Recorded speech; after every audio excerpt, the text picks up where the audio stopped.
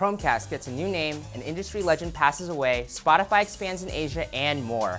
It's Tuesday, March 22nd, and this is Crunch Report, presented by Toyota. Google's streaming media device, the Chromecast, got a new name today. From now on, it'll be known as Google Cast. How big a deal is this? Well, name changes can suggest broader shifts in a company's strategy. In the case of Chromecast, Google had already redesigned the device and it launched Chromecast Audio. It's even been working with hardware manufacturers to include Chromecast technology in other devices. All in all, Chromecast has become a bigger platform rather than just a little streaming TV dongle. It also sounds like Google really wants to emphasize the idea of casting, namely sending media from your phone to your TV or speakers. And who knows, maybe you were already calling it Google Cast, so it'll be an easy switch. The company has also launched a new Google Cast website where you can see devices that support the technology already, no extra gadgets needed. One of the giants of the tech industry passed away yesterday. Andy Grove was the first hire at Intel, becoming president in 1979 and CEO in 1987. Even before his time at Intel, it seems like Grove led an extraordinary life, having been born in Hungary, surviving the country's Nazi occupation and Soviet control before immigrating to the US in the mid 1950s. According to a memorial blog post from Intel, Grove played a critical role in the company's shift from memory chips to microprocessors. And during his time in charge, it produced chips like the 386 and the Pentium, which, if you kind of remember, was practically synonymous with the PC boom. Apple CEO Tim Cook tweeted Andy Grove was one of the giants of the technology world. He loved our country and epitomized America at its best. Rest in peace. Grove was 79 years old. Spotify has confirmed plans to go live in Indonesia at the end of March. Even if you haven't been anxiously waiting for this launch, it's noteworthy because nearly two years have passed since Spotify last added a new country in Asia.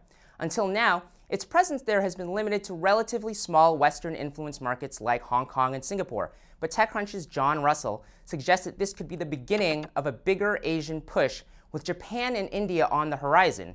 It's also worth noting that even though Spotify isn't currently available in Japan, the company has an office in Tokyo and it has signed a deal with Line, which is the top messaging app in Japan.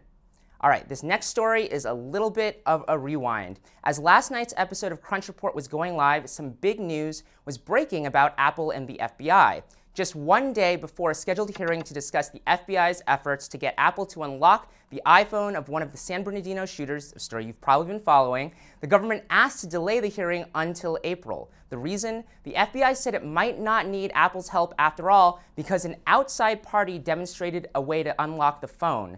The delay is supposed to give the agency time to test that method. If it works, this could help both sides avoid a difficult legal battle, but of course it remains to be seen whether this unknown method will actually pay off.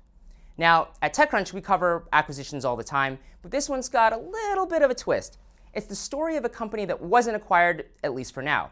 Ars Technica had reported that Apple was in talks to buy chip company Imagination Technologies. Normally, the way this works is you'll see a story like this, and a few days or a few weeks later, you'll hear that the acquisition happened, or it'll just fade away, and you have no idea if the deal fell through, or if the initial story was just flat out wrong, or whatever. However, this story actually sent Imagination's stock price up 20%, prompting Apple to release a statement confirming that the talks had happened, but denying that an acquisition was about to take place. The exact words were, quote, from time to time, Apple talks with companies about potential acquisitions. We had some discussions with Imagination, but we do not plan to make an offer for the company at this time. That's the report for today. I'm Anthony Ha. Crunch Report airs every weekday at 7 p.m. Eastern, 4 p.m. Pacific on TechCrunch.com. You can also find us on iTunes and on YouTube. See you tomorrow.